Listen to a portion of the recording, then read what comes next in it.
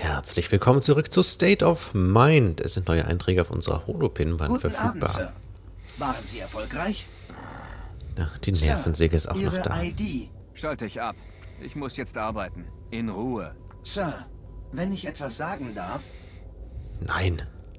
Jetzt gerade nicht. Oder na gut, dann sag mal was. Dann sag mal. Ihre Situation ist zweifellos unerfreulich. Das sollte Sie aber nicht zu Selbstmordgedanken verleiten. Was weißt du schon davon? Du lebst doch gar nicht. Sie sind nicht sehr freundlich, Richard. Was? Verletze ich deine Gefühle oder wie? Ich registriere, dass Sie wütend sind, Sir. Aber das sollten Sie nicht an mir auslassen. Ach so? Warum denn nicht? Hast du nicht gesagt, du gehörst uns? Alles hier gehört mir. Verstehst du? Wenn ich will, kann ich hier Kleinholz machen. Ich kann dich mit einer Axt erschlagen und zahl nicht mal Bußgeld. Was sollte mich davon abhalten? Natürlich, Sir. Aber das wäre nicht sehr menschlich. Oh doch, mein Lieber. Das wäre nur allzu menschlich. So. Den Nervensäge haben wir jetzt ruhig gestellt. Dann können wir jetzt einmal auf unsere Holo-Pinwand gucken. Und kriegen einen Ja. Anruf. Ich bin's. Wollte nur checken, ob du noch lebst. Ich schon. Aber Phil, Ja, ich weiß. Armes Schwein. Aber ist okay. das ist... Okay? Wir sind im Krieg, Richard. Verluste gehören dazu. Was wollten die im Doomsday? Sie sind nervös wegen der Bombenkampagne. Hast du schon Kontakt aufgenommen? Zu Newman? Nein. Dann tu es. Jetzt. Ich habe die Datenbank für deinen Cloud Hub freigeschaltet. Mir ist noch nicht ganz klar, wie... Sag Adam, er soll nach Datenfragmenten in seiner Umgebung Ausschau halten. Wir haben bereits welche für ihn hochgeladen. Verschlüsselt. Nur er kann sie sehen. Hoffe ich jedenfalls. Er soll sie finden und an deinen Cloud Hub schicken. Du beginnst mit einem Schlagwort. Wenn du ein Fragment findest, lädst du es hoch. Und so macht ihr dann weiter, bis, bis ihr wieder eine halbwegs intakte Erinnerung habt, die wir nutzen können. Ich frage mich ja immer noch, was das da für eine virtuelle Welt ist und warum es die überhaupt gibt. Und wenn er mir nicht glaubt? Denk dir was aus. Du kennst ihn besser als er sich selbst. Ich melde mich wieder. Wohl kaum. Aber du hörst von mir. Das ist halt so die Frage. So, was haben wir hier denn Schönes? Jeff Kosowski, Anführer der Hackerorganisation, will die gesamte VR zerstören. Ja, ich frage mich immer noch, ne, was ist diese VR? Warum? Ja. Tracy hat sich für die Mars-Kolonie scannen lassen, das wissen wir. Wo ist James? Tracy ist nicht bei ihren Eltern. Wo ist mein Sohn? Das hatten wir schon. Mann im Apartment. Wer hat Tracy im Apartment besucht? Steve muss mir helfen, Simons Modul auszulesen. Mir bleibt wohl nur Move-Scan, um den Mann zu identifizieren. Eine Polizeidatenbank für Bewegungsprofile, Instrument schlimmster technokratischer Überwachung. Steve jagt die Bilder aus Simons Modul für mich durch die Move-Scan-Datenbank. Kurtz. Tracy alter, Tracys alter Scan-Fotograf hatte sich mit ihm getroffen. Das hatten wir schon. Kurtz Labs. Kurtz Labs lädt Menschen in eine VR hoch. Gegen ihren Willen? Fragezeichen. Dieser Verrückte hat mich hochgeladen. Wann? Wie? Hm. Das ist halt nur irgendwie die Sache. Okay, dann nehmen wir mal Kontakt auf. Memento-Datenbank. Na schön. Datenfragmente. Schlagwörter. Wer soll denn da durchblicken? Hive Call. Newman. Adam. Das muss er sein.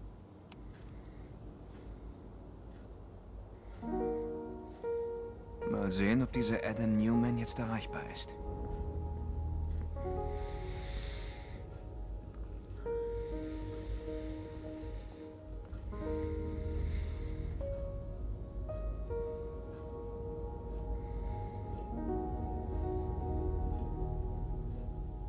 Cloud Call Service. Willkommen. Dieser Kontakt ist zurzeit offline. Bitte warten Sie. Cloud Call wird geschlossen. Dieser Kontakt. Hive Call Service. Verbindung fehlgeschlagen.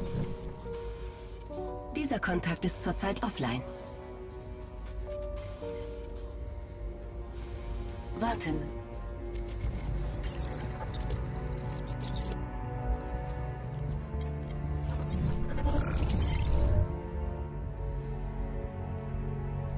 Hallo? Hallo? Wer sind Sie? Ich bin Richard Nolan. Ich melde mich aus Berlin. Von wo? Was ist das für eine Verbindung? Das ist nicht so leicht zu erklären. Die Verbindung ist improvisiert. Improvisiert heißt illegal, ja? Hören Sie zu, Adam. Es ist wichtig. Ich melde mich, weil ich glaube, dass... Ja? Dass Sie... dass du ein Teil von mir bist. Was? Lass mich erklären. Nein, Sie erklären mir gar nichts. Bitte, Adam.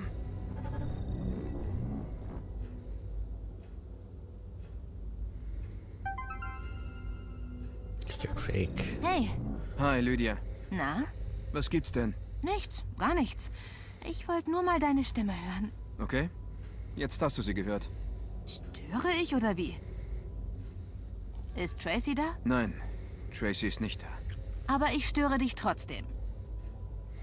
Wir bleiben mal am Ball. Ich würde möchte mal wissen, wie das weitergeht. Jetzt fang nicht wieder so an, okay? Was glaubst du eigentlich, wie lange ich das noch mitmache, Richard? Lydia, hör zu. Ich muss jetzt wirklich Schluss machen. Wir reden später, ja? Du wolltest schon vor Monaten mit Tracy reden. Ich muss jetzt Schluss machen, Lydia. Cloud Call wird geschlossen. Was mache ich bloß? Tja, was Ich machen muss wir sofort nochmal mit Adam sprechen. Nochmal mit ihm sprechen. Können wir ihn jetzt eigentlich anrufen oder müssen wir dahin laufen?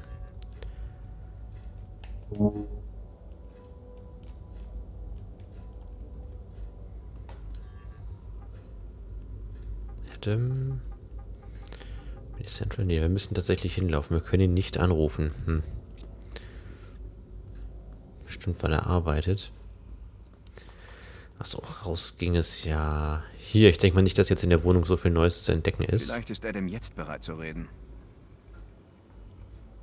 Ach, wir wollten Adam anrufen. Ups. Ich dachte, wir wollten zu unserem Arbeitskollegen. Äh, Adam. Ich bin's nochmal. Das sehe ich. Ich sperre jetzt diese Frequenz. Adam, nicht auflegen. Bei dir müssen irgendwelche Daten angekommen sein. Daten? Daten, Fragmente, virtuelle Konstrukte. Ich weiß, das ist... Moment. Dieses Ding in meiner Wohnung, das gehört Ihnen? Dieses, keine Ahnung, Hologramm? Das muss es sein. Sorgen Sie dafür, dass es aus dem Zimmer meiner Frau verschwindet. Schick es mir. Wie soll das gehen? Es sind Daten. Schick sie an meine Cloud-Adresse. Ich entschlüssele sie und sende sie dir zurück. Was? Nein, wozu denn? Damit du sie dir anschauen kannst. Ihre Daten? Ich kenne sie doch gar nicht. Doch, tust du, Adam. Du kennst mich besser als... Okay, hier liegt irgendein Missverständnis vor. Ich schicke Ihnen jetzt Ihr Zeug zurück, Sir. Und das war's. Guten Tag. Immerhin ein Anfang. Unheimlicher Typ. Na gut. Sehen wir zu, dass dieses Ding aus Amys Zimmer verschwindet. Du hast zwei neue Nachrichten. Einmal von Richard Adam, melde dich bitte bei mir. Ich muss mit dir reden. Dringend. Und Tante Joan. Adam, wie geht es dir? Am Sonntag kommt Onkel Jeremy aus dem Kryoschlaf. Wir sind alle bei den Wilsons. Kommst du auch? Familie ist wichtig, Adam. Okay, ich höre schon auf. Bis dann. Wir drücken dich. Also neue Leute kommen dann aus dem Kryoschlaf. Können wir Richard nochmal anrufen? Das würde mich jetzt interessieren. Nein, nein, ich rufe da nicht zurück. Okay, da ist er stur. Logischerweise. Wer wäre es nicht? Was zur Hölle mache ich hier?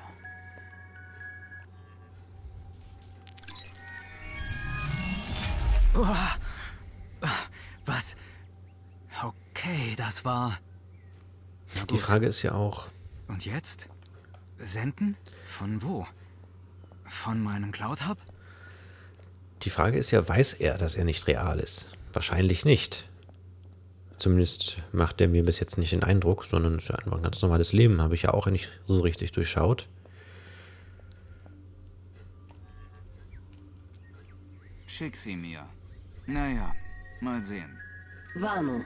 Die Versionsnummer für dieses Objekt ist veraltet. Scan abgeschlossen. Objekt-ID erkannt. Objekt erfolgreich gesendet. Sehr schön.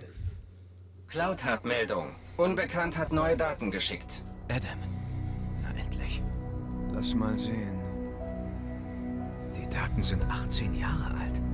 Wie weit reicht diese Datenbank zurück? Sektor 36, Berlin. Das Doomsday vielleicht? Okay. Fragment dekodieren. Ach, jetzt haben wir hier wieder dieses Puzzle. Falscher Raum.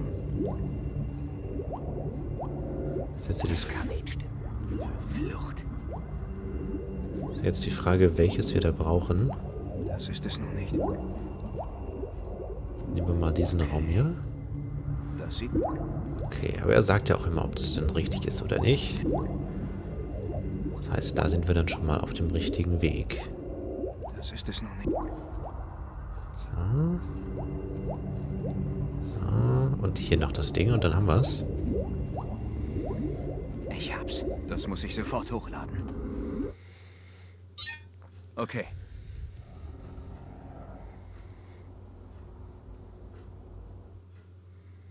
Unbekannt hat dir neue Daten an deinen Cloud-Hub gesendet. Tja, die Neugier Tatsächlich Daten geschickt. siegt wahrscheinlich. Na klar, siegt die Neugier.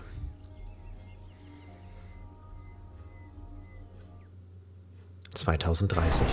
Berlin, Sektor 36, Mittwoch, 13. Februar 2030. Doomsday. Was ist das? Wo? Raus jetzt, verzieh dich. Armleuchter.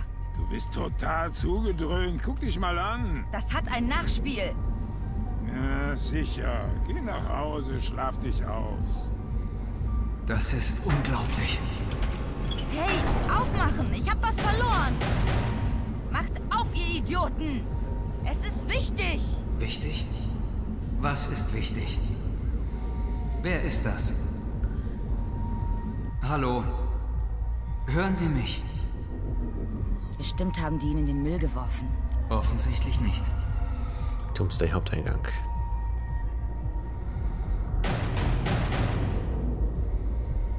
Du bist ja immer noch hier. An deiner Stelle würde ich wirklich mal abhauen. Das ist keine gute Gegend für eine Frau um diese Zeit. Vor allem nicht in deinem Zustand. Lass mich. Ich suche was. Aber nicht hier. Nicht hier. Ach, jetzt spielen wir Tracy. Okay. Müllcontainer. Müllcontainer. Viel sieht man auch nicht. Na, Süße. Ganz allein hier. Hey, ich hab dich was gefragt. Lass mich in Ruhe. Komm mal her. Lass mich. Das ist dieser Richard.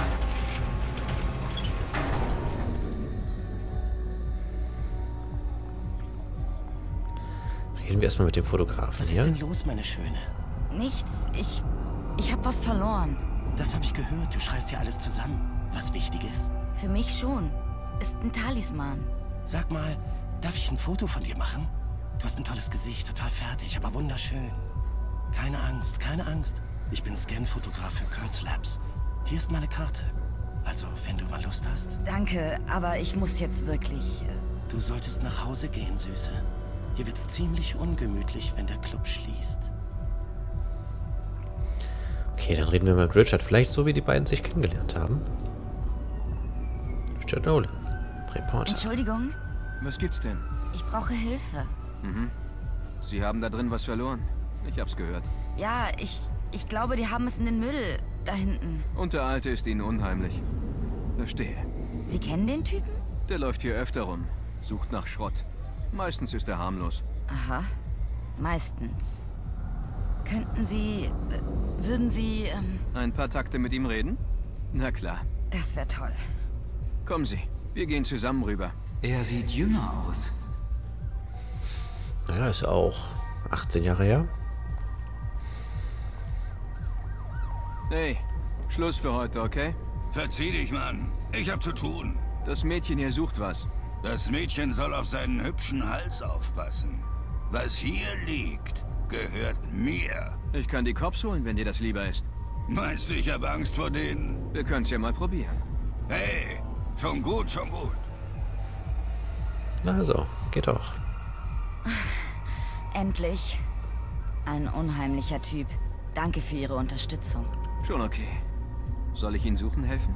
Was genau ist es? Mein Talisman. Eine Spieluhr. Was gibt's da zu lachen? Sie tragen eine Spieluhr mit sich rum? Das finde ich ja rührend. Hören Sie, vielen Dank nochmal. Ich komme jetzt zurecht. Hey, ich wollte Sie nicht beleidigen. Nein, nein, alles in Ordnung. Na schön. Kann ich sonst irgendwas? Nein. Ist eine wichtige Spieluhr, was? Ich brauche sie. Aha, okay, das ist dann also die Spieluhr. untersuchen, untersuchen. Die wir dann ja auch schon mit Adam Newman aus dem Traum da gefangen haben. Verdammter Mist, wo ist sie? Ein Cloud Call. Oh nein, Dad. Was will er denn jetzt schon wieder? Da, da ist sie ja. Gott sei Dank. Die kann man aufmachen? Verstehe. Die ist wirklich wichtig. Was geht Sie das an? Sie haben recht. Entschuldigen Sie. Sagen Sie, darf ich Sie vielleicht noch auf einen Drink einladen? Das ist nett, aber ich muss jetzt einen Cloud Call machen. Nichts für ungut. Na dann, rufen wir mal an. Dad. Ah, hier, Mina, genau, ist ihre Freundin. Hi, Dad. Ich bin's. Sorry, dass ich nicht früher angerufen habe. Macht nichts. Ich habe eh nicht mehr viel zu besprechen. Wie, wie geht's Mom? Alles in Ordnung? Wann kommt sie aus dem Krankenhaus? Sie ist vor drei Wochen entlassen worden, Tracy. Oh, was? D das gibt's doch nicht. Wieso, wieso hast du mir nicht... Ich habe dir Bescheid gesagt. Wir haben darüber gesprochen. Haben wir? Wann war denn das? Ich kann Hör zu, nicht... Tracy.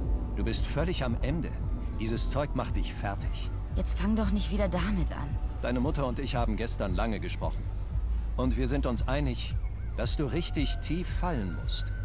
Du kommst erst zur Besinnung, wenn du ganz unten bist. Was soll das denn jetzt? Wir haben beschlossen, dass wir dir nicht mehr helfen werden, Tracy. Was? Wir melden uns nicht mehr und du bitte auch nicht. Du bekommst keine Unterstützung und kein Geld. Dad, das ist nicht dein Ernst. Unterbrich mich nicht. Mach einen Entzug. Such dir einen Job. Übernimm Selbstverantwortung. Und dann, Tracy, dann kannst du dich wieder melden. Vorher nicht. Hast du verstanden? Seid ihr verrückt geworden? Ihr wollt mich einfach so aus eurem Leben schmeißen? Pass auf dich auf. Dad! Okay.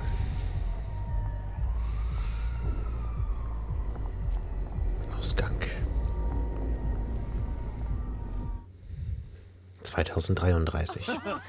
Berlin Central. Hierher sehen, bitte. Großartig. Danke.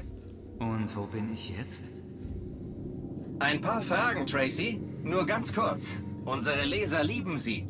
Na gut, ein paar Minuten habe ich noch. Hm, Wenn nichts Privates, keine Politik, weder Privates noch Politik. Und keine Politik. Wie fühlt man sich als neuer Station-Avatar von The Voice? Wie war der Scan? Fantastisch. Jetzt kann ich den ganzen Jugendwahn auf meinen Avatar abladen und in Ruhe alt werden. Nicht, dass ich es damit eilig hätte. Nächste Frage bitte. Tracy, The Voice Boston hier. In unserem User-Feed haben wir ganz oft die Frage, wie halten Sie sich so fit? Was ist Ihr Geheimnis? Ich versuche einfach ich selbst zu bleiben. Alles weitere liegt nicht in meiner Kontrolle. Und schaffen Sie das immer?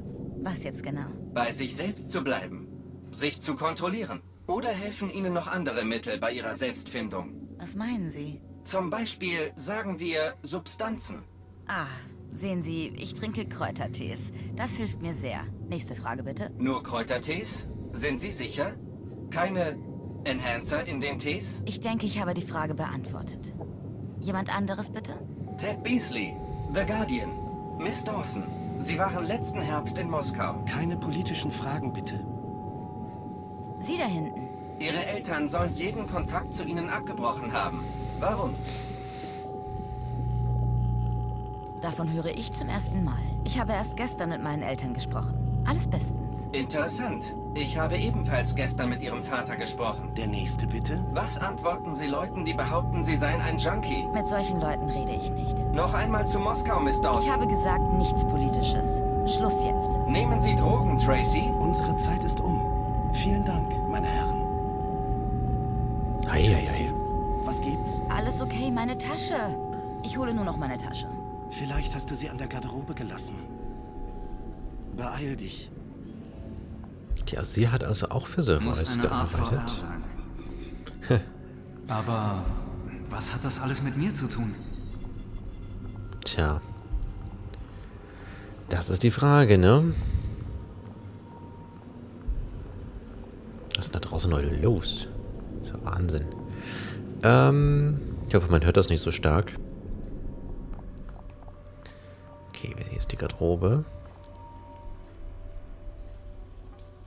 The Voice übernimmt keine Haftung für Schäden oder Verlust. Na, wo ist die? Da.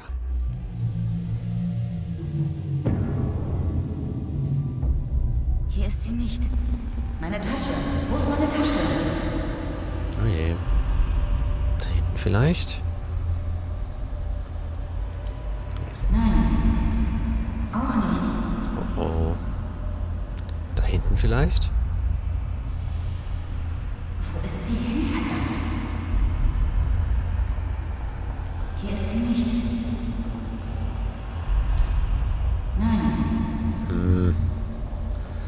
Habe ich das Gefühl, dass wir sie nicht mehr finden werden?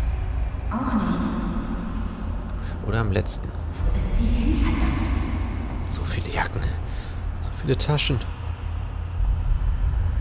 Werden wir es jemals schaffen?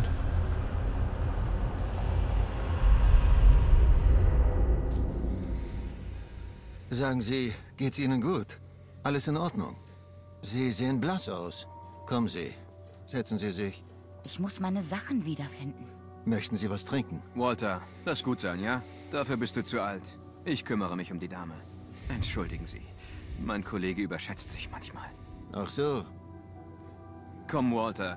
Du musst doch noch meine Korrekturen einarbeiten. Na schön. Wir werden noch sehen, wer sich hier überschätzt. Den sind wir los. Das war aber nicht sehr nett. Ja, das ist Walter. Der hält das aus. Aber er hat schon recht. Sie sind blass und sie zittern. Kann ich Ihnen helfen? Meine Tasche. Meine Tasche ist weg. Eben war sie noch da. Sie lag da vorne auf dem Tisch. Wie sieht sie denn aus? Eine Tasche eben, schwarz, mit Goldschloss. War was Wertvolles drin? Meine Tasche. Wo ist meine Tasche? Ja, die Tasche suchen wir dann beim nächsten Mal. Vielen Dank fürs Zuschauen. Bis dann.